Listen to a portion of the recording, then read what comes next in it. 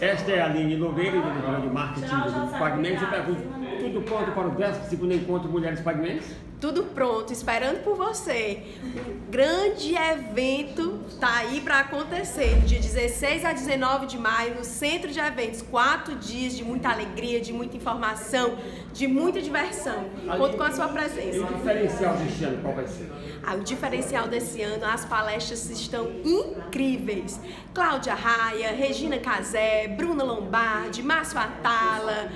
Leandro Carnal, shows com os filhos dos caras, Marta Gabriel no mundo digital, Fafá de Belém, Padre Reginaldo Manzotti, é muita programação pra gente. Uma feira com mais de 150 estandes, oficina de arte, de culinária, tem muita coisa. E tem entidade beneficiada também com a venda das inscrições? Não? Sim, parte da renda das inscrições é doada para quatro instituições. Esse ano nós vamos ter a instituição Casa da Esperança, que trabalha com autismo, a Casa do João, a Só Pai, que é o hospital pediátrico, e também é o IPOM, né? Instituto do Povo do Mar. E mulheres homenageadas?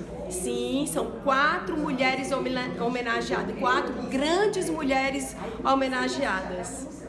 Fátima, Fátima da a Fátima, né, conhecida como presidente da da Abrame.